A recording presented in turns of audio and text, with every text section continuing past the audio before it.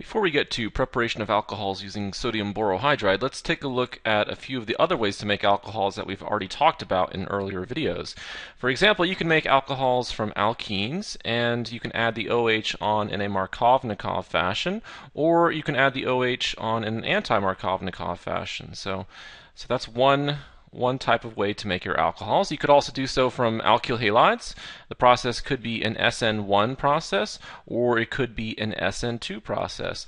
And then what we haven't talked about yet is how to prepare alcohols from carbonyl compounds. And there are a couple different ways to do that. You could use sodium borohydride, NaBH4, which is what we're going to talk about in this video.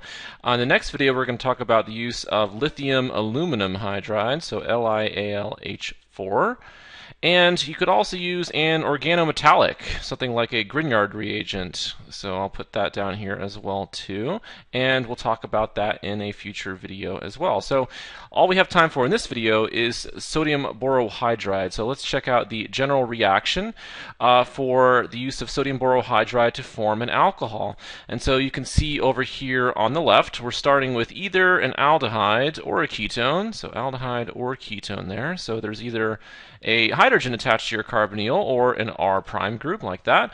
We're going to add sodium borohydride and then we're going to add a proton source. It could be just about anything, so uh, H plus tends to work. And we're going to form either a primary or a secondary alcohol depending on our starting material. So this is going to be a primary or a secondary alcohol. Let's look at the mechanism uh, for the preparation of alcohols using sodium borohydride. So we'll start with our, uh, let's just go ahead and start with a ketone ketone here. So we're going to we're going to start with a ketone. So we'll just do the reaction like that. So I have my carbonyl like that, put in my lone pairs of electrons, and I'll make this an R prime to make it our ketone. And sodium borohydride comes along. So let's go ahead and draw the structure for that. So Na plus, positive formal charge, and then and then we have boron bonded to four hydrogens like that. And there's a negative one formal charge on our boron. So we'll go ahead and put that in there as well. So the mechanism I'm going to show you is a simplified mechanism. The actual mechanism is a little bit more complicated, but this mechanism works. So let's just go with the simplified version. All right, so the first thing you have to think about is this carbonyl here, this carbon double bonded to an oxygen. There's an electronegativity difference between the carbon and the oxygen. So right here, this carbon and this oxygen, the oxygen's more electronegative, meaning that those bonds uh, and, and the electrons in the double bond between the carbon and the oxygen are going to be pulled closer to the oxygen. Therefore, oxygen has a partial negative charge, right? So increased electron density around it. Whereas the carbon here is losing some of the electrons around it, so it's partially positive, like that.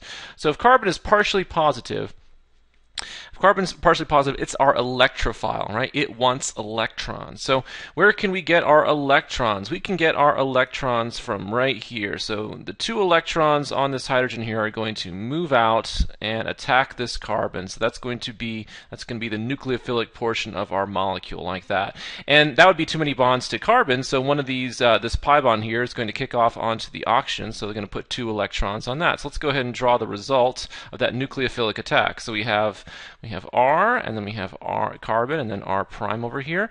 And this top oxygen had two lone pairs of electrons. It just picked up one more for a total of three, and that gives it a negative one formal charge like that. And we added on a hydrogen like that. So let's go ahead and color code some electrons here, right? So we can see where everything went. So I'm saying this this hydrogen, right, and the two electrons in this bond, right, became this hydrogen, and these two electrons right here. So really what you're doing is sodium borohydride is a source of hydride anions. So a hydride anion, right, would be hydrogen with two electrons around it and a negative one formal charge. So that's the way to think about these reagents. Hydride itself is not the best nucleophile because it isn't polarizable enough, right? It's such a small, such a small atom that it doesn't really work very well as, as a nucleophile by itself. So this, of course, is our simplified version. All right, in the next step of our our mechanism, get some acid-base chemistry.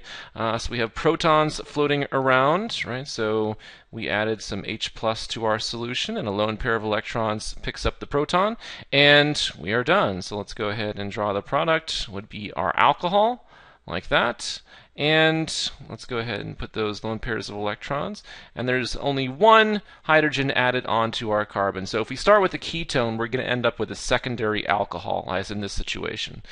All right, let's do uh, let's do an actual reaction here, and let's start with uh, vanillin. All right, so vanillin is a very nice smelling molecule. All right, and if you look at the structure of vanillin, there's an aldehyde functional group right there on our ring. All right, so there's some other functional groups, so we'll go ahead and put in the rest of the vanillin molecule like that.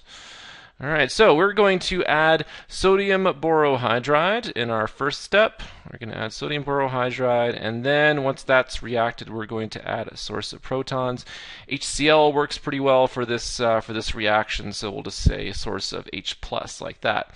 All right, so when you're when you're trying to figure out uh, the product on a test, uh, it's it's not even necessary to do that really simplified mechanism. You can pretend like the hydride ion is going to act as a nucleophile, even though we've already covered that it doesn't quite do that. So here we have our our hydride nucleophile, right? So it's going to attack it's going to attack this carbon right here. This is our this is our carbonyl carbon, right? So it's going to be partially positive. That's going to kick these electrons off onto our oxygen like that.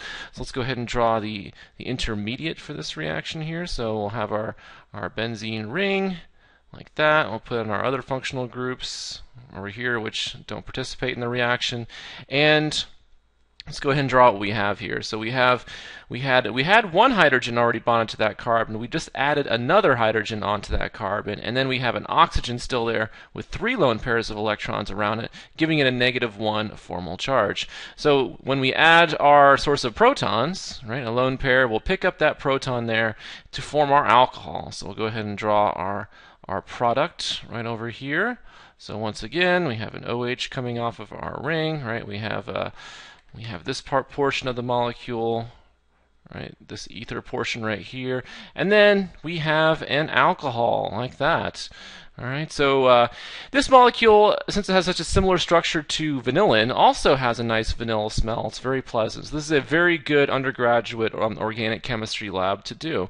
And uh, let's classify the type of alcohol we got. We got as either primary, secondary, or tertiary. So remember how to do that. You look at the carbon that's directly attached to the OH, that's this carbon, and you see how many carbons that carbon is attached to. That carbon is attached to one other carbon. So this is an example of a primary alcohol. So if you start with an aldehyde, right? So if you start with an aldehyde, as we did over here, this is our aldehyde, you're going to end up as a with a primary alcohol as your product. Let's do another one. This time let's do a ketone. Alright, so let's go ahead and draw a ketone over here. So we'll do um, cyclohexanone. So here's our ketone like that. And we're going to add sodium borohydride like this, NaBH4. And we'll add methanol, and we'll do this all in one in one step here. So once again, think about sodium borohydride being a source of hydride anions, right? So again, even though this isn't technically the mechanism, right, it's our simplified version. So if you're taking a test, this is the easiest way to do it. Attacks that carbon, right, kicks these electrons off onto your oxygen. So we have our intermediates right over here, right? So let's go ahead and draw that. So we have the hydride anion attack to form a new bond to what used to be our carbonyl carbon. Now this oxygen has three lone pairs of electrons around it and a negative one formal charge. It's going to pick up a proton from methanol as its proton source this time, and therefore our final product if we're going to go ahead and draw it, right? We'll go. I'll keep the hydrogen in there, and you'll see why in a second. So, and then I have my my OH like that. So I form cyclohexanol as my product. This is a reduction reaction, so we are we are reducing the molecule to form our alcohol. So let's let's take the reactant and the product from this from from this reaction and let's assign some oxidation states so we can see how this is an example of a reduction reaction. So I'm just going to redraw our our starting ketone here. So let's go ahead and, and put in some of the atoms this time. So I'm just going to redraw that starting uh, that starting ketone like this. Okay, and I'm going to go ahead and draw the product that we got as well. All right, so put in these carbons here.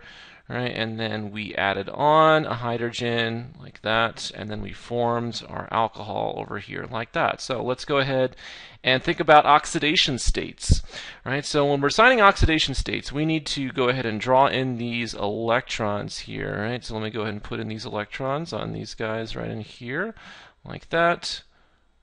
All right, so let's uh, let's think about how we did this in some of the earlier videos.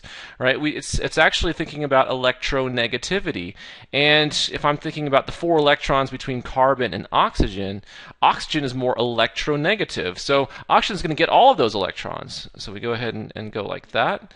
Uh, carbon versus carbon, right, fighting over these two electrons. Uh, it's an equal electronegativity, obviously, since it's the same element, right? So each carbon is going to get one of those electrons right? And the same thing for over here. So when we assigned our oxidation states, we said that it's the number of valence electrons that carbon normally has, which of course is 4, and from that we subtract the number of electrons around it when we when we account for electronegativity, which is 2 in this case. So the oxidation state of that carbon is plus 2. All right, so we have a plus 2 oxidation state on the left. Let's think about the right. Let's go ahead and put in our electrons, right? Each bond consists of two electrons, so we go ahead and put the fact that each bond consists of two electrons in here, like that. And then once again, we think about differences in electronegativity. So again, we know carbon versus carbon is a tie, so we can go like that. And carbon versus oxygen, right? Oxygen's more electronegative, so it's going to get those electrons there. But carbon versus hydrogen, carbon is, is a little bit more electronegative. So now carbon's going to take those two electrons. So carbon normally has four, right? In this case, carbon has 4 around it after we account for electronegativity, so the oxidation state of that carbon atom is 0. So let's think about what happened to the oxidation state. We started off with, uh, with a plus 2 oxidation state, and that number was reduced to an oxidation state of 0. So this is a reduction reaction, right? This is reduction.